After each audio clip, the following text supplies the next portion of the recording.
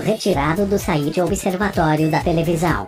Nos capítulos finais de Verão 90, Janaína, de Paz, mostrará para Jerônimo, jesuíta Barbosa, que com honestidade e respeito ao próximo, se consegue o que quer. Ela será consolidada como uma grande empresária no ramo gastronômico e mais do que isso, Janaína comprará a mansão de Mercedes Ferreira Lima, Totia Meireles.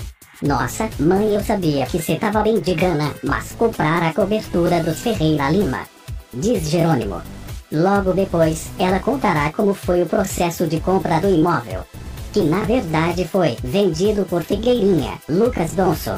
Janaína, que estará casada com Raimundo, Flávio Tolesani, perdoará o filho. Já que ele fará de tudo para reconstruir a sua vida, agora com dignidade.